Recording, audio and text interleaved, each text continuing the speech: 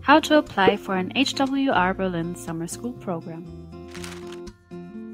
There are two simple steps to follow.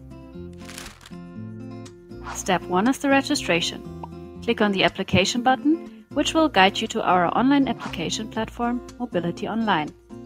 Now you can register with your email address and select a program. Make sure to fill out all required information and then submit your application. After submitting your initial registration, a link will be sent to your email address. Open the email and follow the instructions to create your own user login and password.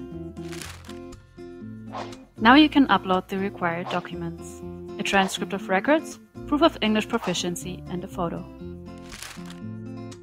Click on My Application Data and Show Application Workflow on the left to see a step-by-step -step list for your application. Make sure to read the yellow info box at the top of the page. Only edit the required steps of the sections Application, Registration and Upload Documents. To upload documents or to update information, click on the link and then on Forward to Update. After updating a section, click on Show Application Workflow on the left to continue with the next steps. You can pause your application process at any time and continue later by logging in with your username and password.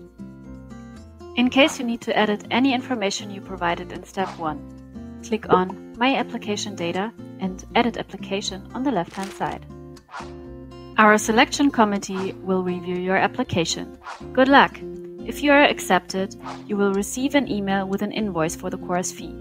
The acceptance is valid upon the receipt of payment within the given deadline.